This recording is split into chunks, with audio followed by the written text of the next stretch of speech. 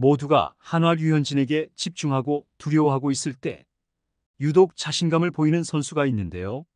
바로 이제는 베테랑 타자로 불리는 최형우입니다. 그는 류현진이 복귀했다는 소식이 들리자마자 후배 선수들에게 이렇게 말했는데요. 걱정 마 별거 아니야. 오히려 재미있겠는데? 다들 괴물과 만난다는 사실에 떨고 있는데 혼자 재밌을 것 같다며 기대하고 있는데요. 최근 KBO 리그 최고의 이슈는 역시 코리안 몬스터 류현진의 한화 복귀이며 류현진은 한화와 8년 총액 170억 원에 계약하면서 국내 복귀를 확정했습니다. 메이저리그에서 11년을 뛰었던 류현진은 이제 미국 생활을 접고 국내로 돌아와 마지막 불꽃을 태우는데요.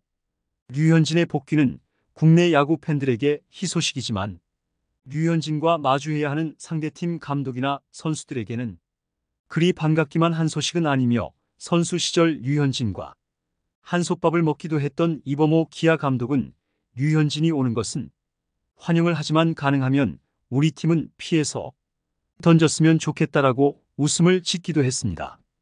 그런데 기아에는 류현진 저승사자가 있다는 점을 주목해야 하는데요.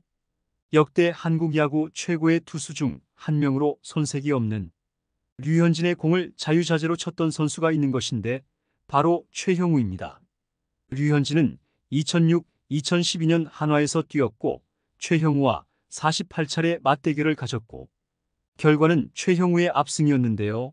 최형우는 류현진을 상대로 통산 타율 4할 40타수 16안타 출루율 4할 9푼 장타율 8할에 4홈런 9타점을 폭발했습니다. 48타석 동안 삼진은 단 7차례 밖에 당하지 않았고 가히 류현진 킬러로 전혀 부족함이 없는 성적인데요. 다들 류현진이 복귀한다는 소식에 걱정이 태산인데 최형우는 달랐습니다. 최형우는 아직 류현진이의 공을 친 적이 없는 후배들이 뭔가 설레기도 할 것이다. 나는 예전에 현진이의 공을 많이 쳐봐서 그런지 현진이가 온다는 소식을 들었을 때 내가 야구를 너무 오래 했나라는 생각이 들었다라고 웃음을 지었는데요. 류현진과 다시 만나는 것에 대해 재밌을 것 같다고 표현한 최형우는 미국에서 성공하고 온 선수라 모든 KBO 리그 선수들이 보고 배울 점이 엄청 많을 것이다. 하나부터 열까지 다 배워야 할 것이라며 후배 선수들이 유현진의 투구를 보면서 성장을 도모하기를 바랐습니다. 후배 선수들에게 줄 수 있는 팁은 없느냐는 말에 팁은 없다.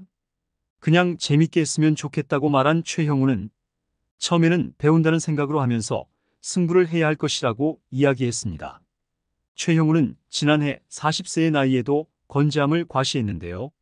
121경기에 나와 타율 3할 1위, 출루율 4할, 장타율 4할 8푼 7리에 17홈런 81타점을 남긴 최형우는 시즌 종료 후 기아와 2년 최대 22억 원의 역대 최고령 BFA 단연 계약을 체결하기도 했습니다.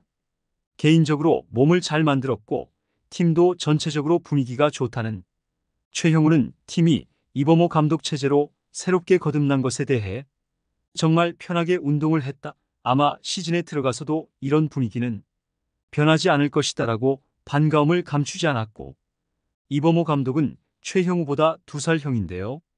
그만큼 최형우가 야구를 오래 하고 있다는 이야기이며 여전히 최형우는 기아 타선의 중심을 잡고 있습니다. 과연 최형우는 올해 류현진과 다시 만나 어떤 타격을 보여줄 수 있을까? 12년 만에 국내 무대에서 재회를 앞두고 있는 최형우와 류현진의 만남이 어떤 결과로 이어질지 벌써부터 이목이 쏠리고 있습니다. 나성범 역시 이런 최형우와 함께 이런 말을 했는데요. 기아는 올 시즌 강력한 우승 후보가 맞다.